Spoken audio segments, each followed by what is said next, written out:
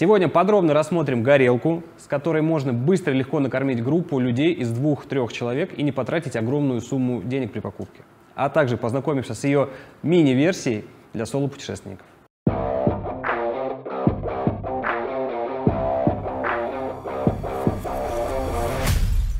Привет, с вами Сплав, меня зовут Сергей Голубев, я гид, организатор путешествий.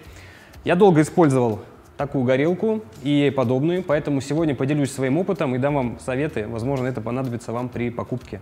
Fast Boil относится к интегрированным системам приготовления пищи, то есть в ней уже собрано все, что вам может пригодиться для приготовления пищи в походе.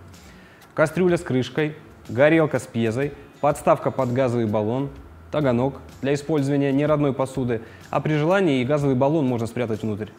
Опытные туристы по внешнему виду уже поняли, откуда растут ноги. Это реплика западного бренда, имя которой уже стало нарицательным, как, например, Xerox. Принцип работы нашей системы не отличается, а вот цена, да, сплавовский фастбойл не так сильно ударит по вашему кошельку, как старший брат. Что же в нем такого волшебного? Чем он отличается от обычной горелки? Дело в том, что хитрое устройство фастбойла позволяет ему быть на 30% эффективнее обычных горелок. 30% быстрее закипает и на 30% тратит меньше газа.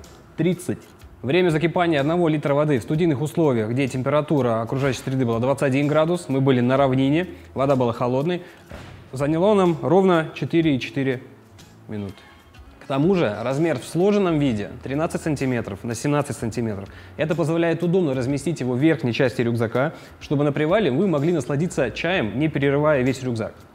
Вес комплекта целиком, кстати, тоже очень приятный, всего 600 грамм. Это при условии, что на двоих людей по 300 грамм, а если вы ходите один, то вам подойдет Fast Boil Solo, о котором мы поговорим чуть позже. Система работает эффективна, в том числе и за счет радиатора на дне кастрюльки, который равномерно распределяет тепло и не дает ветру потушить факел горелки. Да, никакой ветрозащиты вам не потребуется.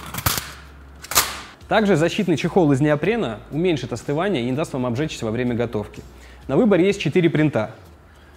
Тебе выбирать, кем ты хочешь быть. Туристом-походником, тактикульным выживальщиком или консервативным человеком.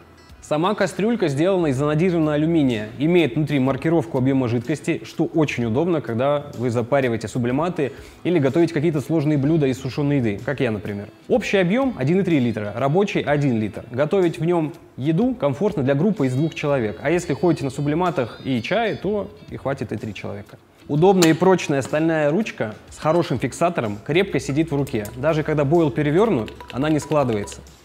Закрываясь, она фиксирует крышку котелка, то есть его содержимое не надо будет искать по всему рюкзаку. Завершает этот ансамбль практичности крышка. Тут тоже без интересных решений не обошлось. Она легкая и прозрачная, с силиконовой ручкой, что позволит не обжечься, а также имеет удобное отверстие для слива воды с макарон, например, или отфильтрует травы, которые вы собрали на пути к лагерю. Ребят, забегая вперед, скажу, что использование на костре производителем не предусмотрено. А теперь о самом главном, о самой горелке. Внешняя часть сделана из АБС пластика, который позволит не обжечься, даже если горелка работает, и нержавеющей стали. Имеет откидной регулятор мощности, который, к слову, составляет 1500 ватт, и маркировкой э, плюс и минус. И таких вот размеров рассекатель с другой стороны. Регулятором можно управлять мощностью горелки, а значит добиться маленького пламени для улучшения контроля за приготовлением вашего блюда. По окружности горелка имеет э, такие простые фиксаторы, которые позволяют перемещать горелку даже в рабочем состоянии. Конечно же, эта горелка имеет пьезоподжиг. Четкий и сильный щелчок заводит горелку с одного нажатия. Пьеза съемная, ее можно заменить, если она вдруг вышла из строя. Если ваша кулинарная мысль уходит дальше варки макарон и требует использования другой посуды, то для таких случаев в комплекте есть такой вот таганок, разложив который можно ставить на горелку любую другую посуду и сковородки. Последним элементом этого комплекта является подставка, которая значительно увеличивает устойчивость конструкции и не позволяет оказаться вашему утреннему кофе на земле или э, ногах вашего подпутчика. И еще одна очень приятная мелочь. Западные модели не могут похвастаться такой продуманностью, но э, в кастрюльку Fastboil полностью помещается газовый баллон 450 грамм. А если вы пользуетесь самым популярным объемом на 230 грамм, то он и горелка полностью занимает объем внутри. Это значит, что все будет в одном месте. Младшим братом Fastboil является Fastboil Solo. Принцип работы и устройства схожи с большим бойлом, но есть ряд полезных отличий.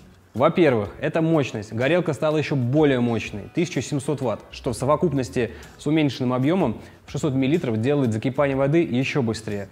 В наших условиях за минуту 30 примерно она закипела. Чем меньше времени мы тратим на такие бытовые дела, тем больше времени у нас остается на отдых и наслаждение окружающей природой.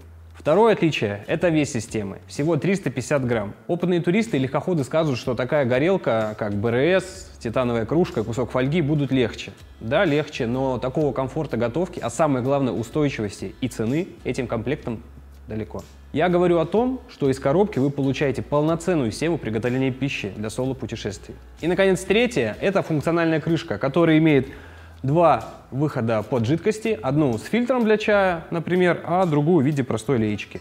Есть еще небольшие отличия, такие как другой форм-фактор ручки и не такой большой выбор принтов, как у моделей э, более увеличенного объема. Кстати, в кастрюльку горелки помещается 110-граммовый баллон газа э, вместе с горелкой. При закрывании крышки содержимое хорошо прижимается и не гремит. Обе системы работают от резьбовых баллонов любого объема. Но с помощью переходника можно использовать также цанговые баллоны. Немножко неудобно, придется покорячиться, но в принципе схема рабочая.